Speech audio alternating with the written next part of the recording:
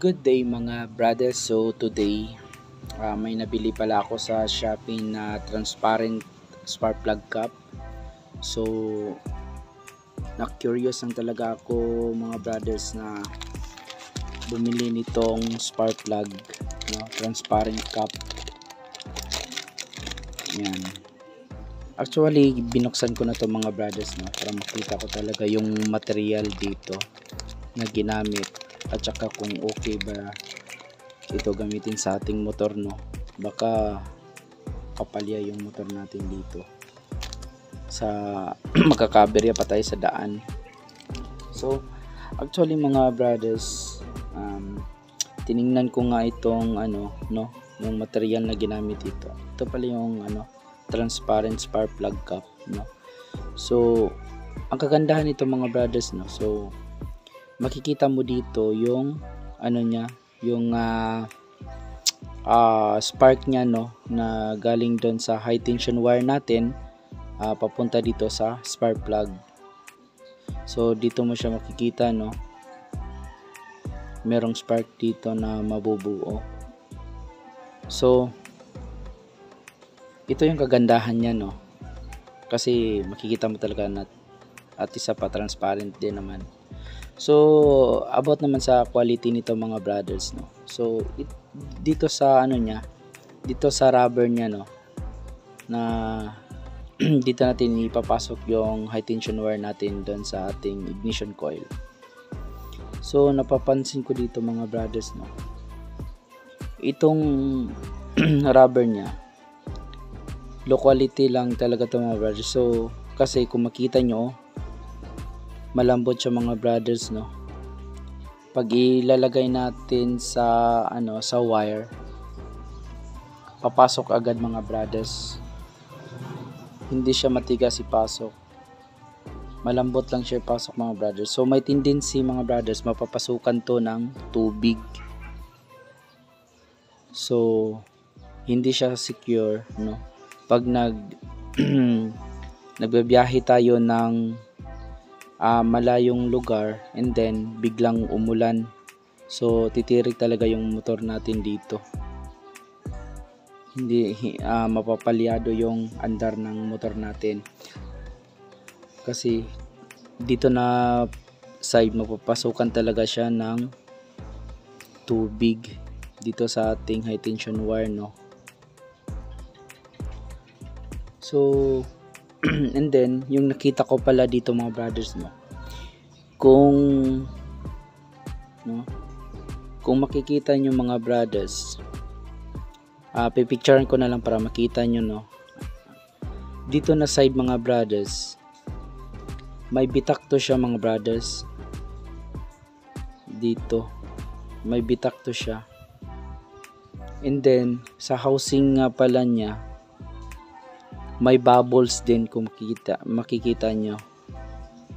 So, ang tindi, may tendency na sa high temperature mga brothers ng ating makina or ng ating high tension wire na mag-spark dito mabibitak talaga to mga brothers kasi may bubble siya and then may bitak na rin siya no dito sa labas so low quality talaga siya maganda sana yung design kung uh, quality quality talaga yung gagamitin na materialis dito. Kasi maganda siya tingnan sa ating motor. Kasi iilaw talaga siya pag ano no pag uh, mag-on ka ng uh, uh, magpapandar ka ng iyong uh, motor. So yun lang yung masishare ko dito mga brothers no na or ma-review ko sa inyo kasi na curious talaga ako dito eh. So gagamitin pa rin natin to. Itatry natin to ngayon kung gagana ba ito mga brothers no?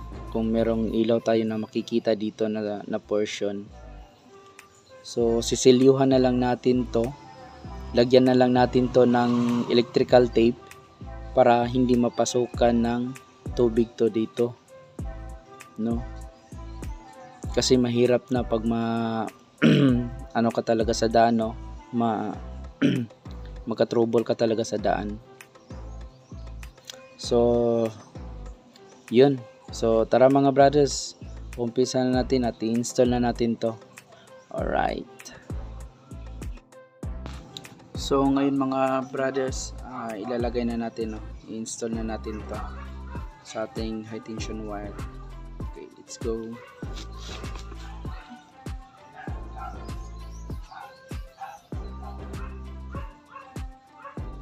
First nga pala, ito pala yung unang ipapasok natin itong rubber.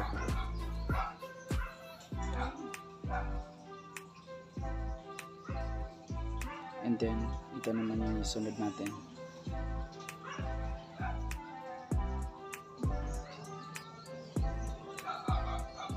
So ang kagandahan nga pala nito mga brothers no? Pag ipasok mo siya dito sa high tension wire makikita mo talaga no na dito na part dito sa gitna papasok talaga siya dito sa gitna no? Hindi siya papasok or hindi siya pupunta doon sa pinakagilid no? Dito talaga sa gitna kasi makikita mo talaga dito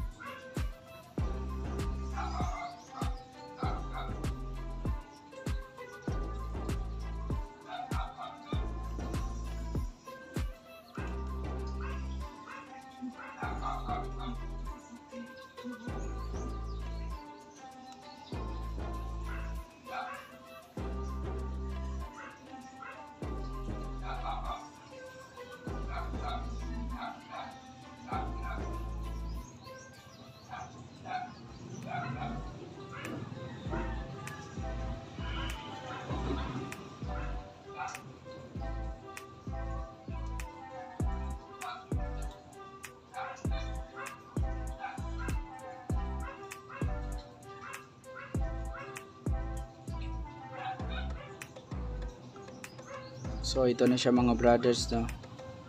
So nalagay na natin. Perfect yung pagkalagay natin. So ngayon ilalagay natin sa spark plug.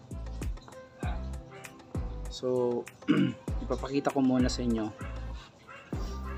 kung gagana ba talaga to mga brothers bago, uh, bago ko lagyan dito ng electrical tape no. So kung makikita nyo mga brothers yun yun, ito yung sinasabi ko sa inyo no so malaki yung butas no?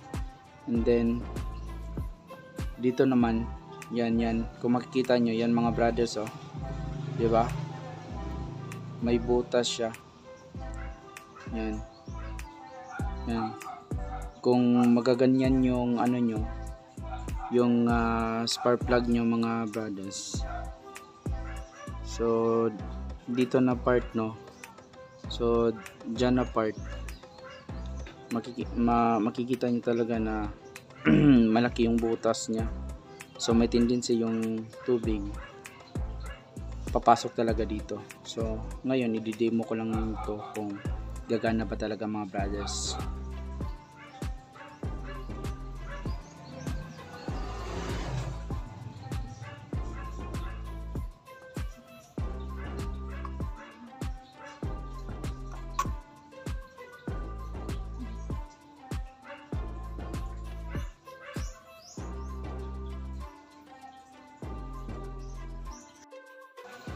So ngayon mga brothers no. So itatry na natin to kung gagana pa talaga.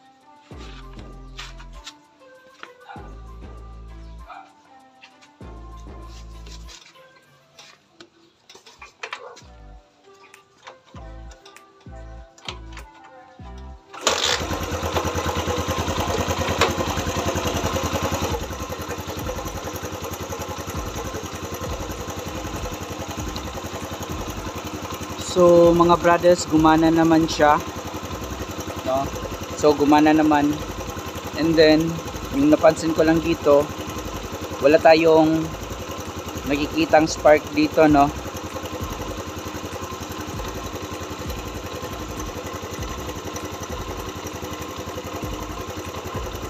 So, tiningnan ko talaga, tinakpan ko to.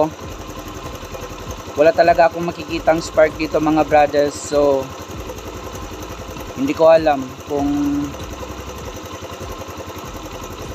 ah anong ano nito no? Kasi wala talaga ako makikitang spark eh. Kasi yung iba nag, ah, nag, nag-spark talaga dito no? Makikita mo talaga na yung galing ng tension wire at saka yung ano ng ah, spark plug iilaw talaga dito.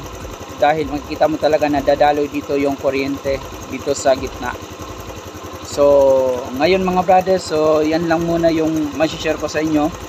And then kung bago, bago ka pa lang sa channel ko mag-subscribe ka na mga brothers para marami kayong matutunan sa aking vlog na darating. So ingat po kayo always mga brothers. Ride safe always.